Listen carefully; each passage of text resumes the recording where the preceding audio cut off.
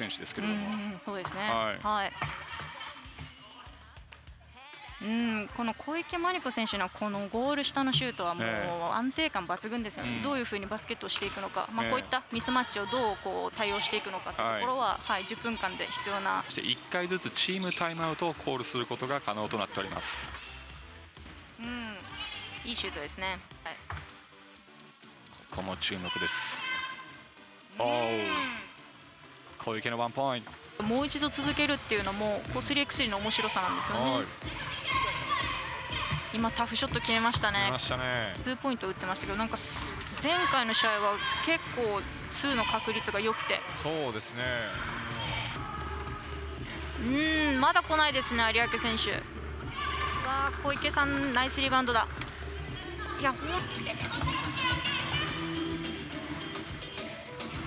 ツーポインうんいいキャッチシュートだ。178センチ。小池選手。ステップバック。こう来た2本連続同点。うん長い落として。いやあのシュート外さないですよね。素晴らしい。ちょっとあの中高生だ